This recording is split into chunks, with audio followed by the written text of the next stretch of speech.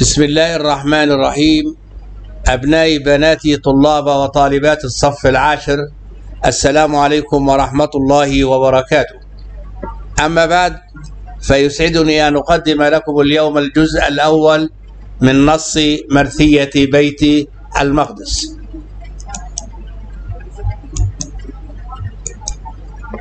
أهداف الدرس يتوقع من الطالب أو الطالبة أن يقرأ النص قراءة شعرية معبرة سليمة. يعرف صاحب النص يتعرف معاني المفردات الصعبة يذكر الفكرة الرئيسة والأفكار الفرعية يستخرج الصور الفنية والأساليب اللغوية. بادئ ذي بدء نتعرف صاحب النص أو الشاعر الذي قال هذا النص. هو أبو المظفر محمد بن أبي العباس أحمد بن محمد الأبي وردي وكاتب وأديب عاش في القرن الخامس الهجري في أصفهان. أجاد في كثير من أغراض الشعر وكان إماما من أئمة اللغة. ما الذي تعرضه هذه القصيدة؟ ما الذي تقدمه هذه القصيدة؟ ماذا يتحدث القصيدة الشاعر في هذه القصيدة؟ يتحدث عما أصاب القدس من مصائب عندما احتلها الصليبيون وفتكوا بأهلها ودنسوا مسجدها. ما تصور حال الأمة وما أصابهم من ذل وهوان في تلك الفترة. جيم يستصرخ أبناء الأمة العربية والإسلامية لنجدة القدس. دال يحث الهمم لنصرة أهل القدس وتطهيرها من دنس الصليبيين. ما القيمة لهذه القصيدة؟ ما قيمة ما أهمية هذه القصيدة؟ هذه القصيدة وغيرها من القصائد كانت لها أهمية كبرى في ذلك العصر لأن في تلك الفترة كان المسلمون منهمكين بعيدا عن ما تتعرض له القدس أو بلاد الشام من حملات صليبية. فلذلك كان حث الناس على الجهاد وحث الناس بأي وسيلة من وسائل الإعلام كما نرى اليوم في حي... في حياتنا الحاضرة كيف تبث الحماس في نفوس الناس عن طريق الإذاعات عن طريق التلفاز عن طريق الصحف عن طريق الخطب وهكذا. فهذه القصيدة كانت لها أهمية كبيرة. قد كان لها دور كبير في حث المسلمين وبث روح الحماس فيهم لنصرة إخوانهم أهل.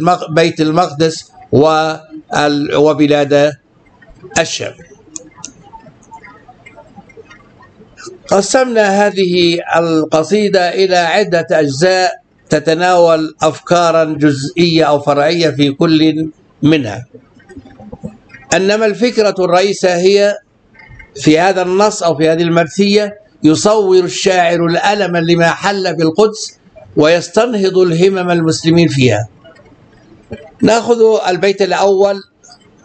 يقول الشاعر فيه مزجنا دماء بالدموع السواجم فلم يبق منها منا عرصة للمراحم. مزجنا دماء بالدموع السواجم فلم يبق منا عرصة للمراحم. مزجنا ما معنى مزجنا خلطنا. السواجم من سجم الدمعة أي سال قليلا أو كثيرا. عرصة الساحة. المراحم جمع مرحمة وهي الرحمة. هذا البيت يتناول فكرة فرعية جزء من الفكرة الرئيسة أن الدموع اختلطت بدماء الشهداء في بيت المقدس. يقول الشاعر في شرح هذا البيت لقد امتزجت الدموع بدماء الشهداء في بلاد الشام ولم يعد مجال للظن واقوال الواشين عما حل بالمسلمين. بعض الواشين يقولون ما حل بالمسلمين شيء المسلمون بخير. لكن في هذه الفترة امتزجت الأحزان بدماء الشهداء التي التي سالت في بلاد الشام وبيت المقدس بخاصة. الصور التي جاءت في هذا البيت في استعارة مكنية في مزجنا دماء بالدموع حيث شبه الدماء والدمع بسائل يمزج مع آخر. الأساليب استخدم أسلوب النفي في قوله لم يبقى منا عرصة عرصة للمراحم.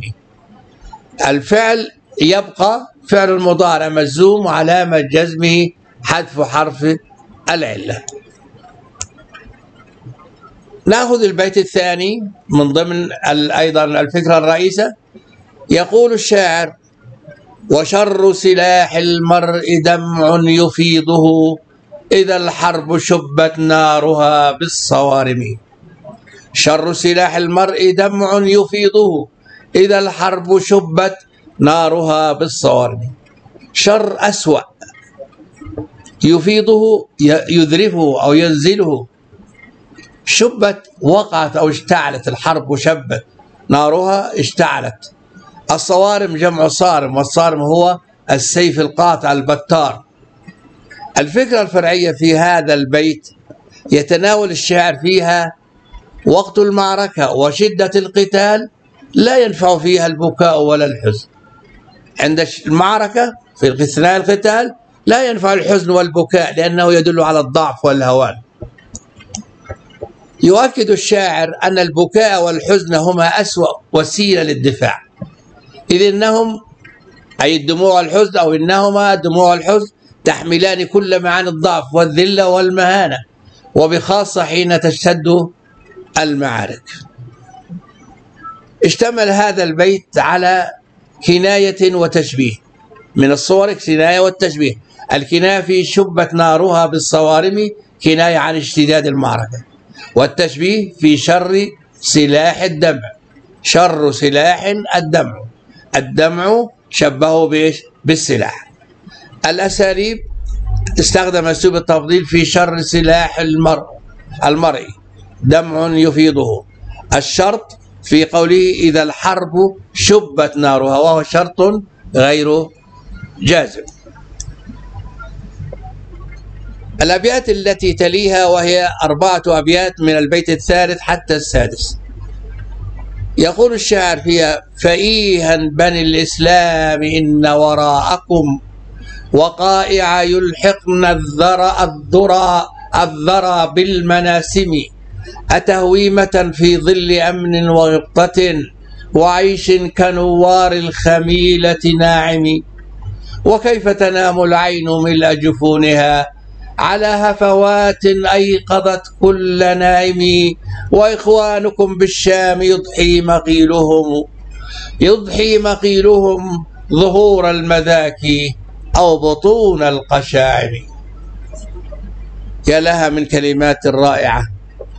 إيها اسم فعل للأمر يدل على التوقف أو حسبك.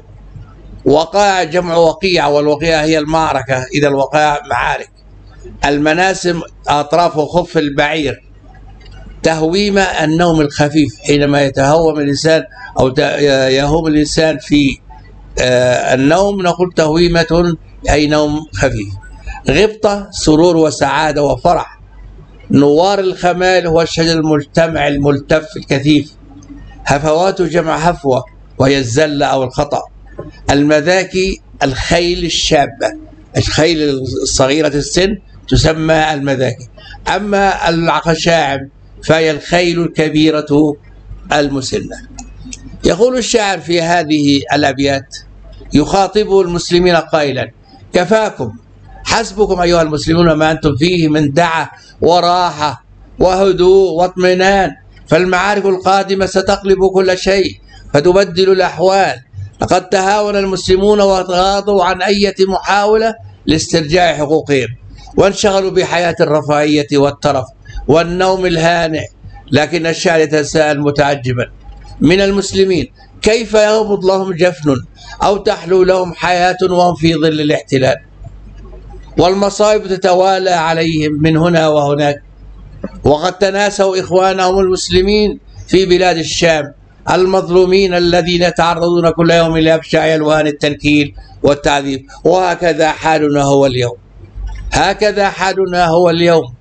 المسلمون والعرب منشغلون بأمورهم بحياتهم. لا ينظرون إلى ما يحل بالقدس ما يحل بأرض الجهاد بالأرض المقدسة في فلسطين. لا لا هم لهم غير الحياة المنعمة المترفة وكما وما أشبه اليوم بالبارحة. إنه لا فعل إنه فعلا هو نفس الموقف الذي نراه اليوم في حياتنا الحاضرة مع العدو الصهيوني. أما الصور التي جاءت في هذه الأبيات السعار المكنية في وقائع يلحقن الذرة وهفوات أيقظت شبه الهفوات بإنسان يوقظ والتشبيه في عيش كنوار تشبيه مفرد والكناية في قوله يلحقن الذرة الذرى بالمناسم كناية عن تبدل الحال. تنام العين ملء جفونها كناية عن الاطمئنان والهدوء. يضحي مقيلهم ظهور ظهور المذاكي المذاكي أو بطون القشاعم. كناية عن اختلاف أماكن موتهم.